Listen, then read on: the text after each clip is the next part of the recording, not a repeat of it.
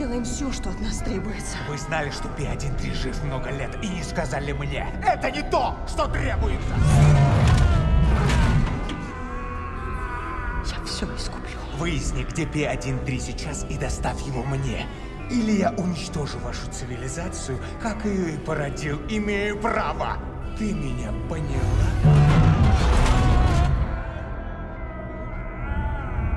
Ты меня поняла?